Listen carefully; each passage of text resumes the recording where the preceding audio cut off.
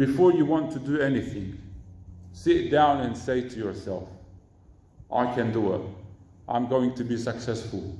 I can face all the problems that will come to my, to my, to my way. I have a strong willpower. Say that to yourself and keep repeating it.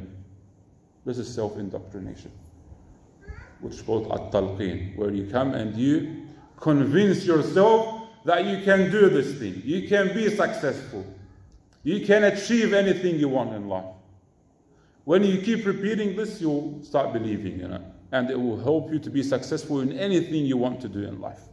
Anything you want to do in life. This is one of the most important steps for us to follow today.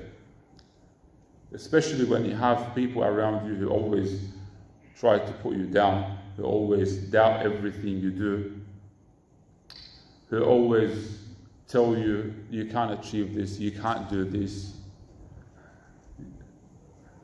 You like this point?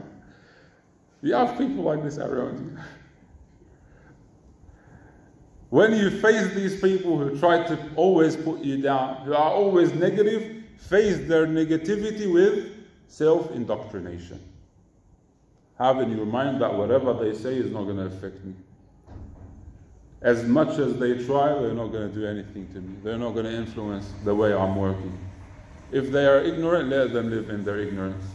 But I can achieve what I want. I can be successful, I can achieve what I'm after, and I can reach the highest levels in life, whatever you want to do.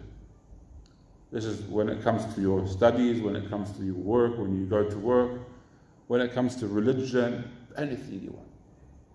You can reach whatever you want. Have this, have this power, this willpower, and tell yourself that you can reach it.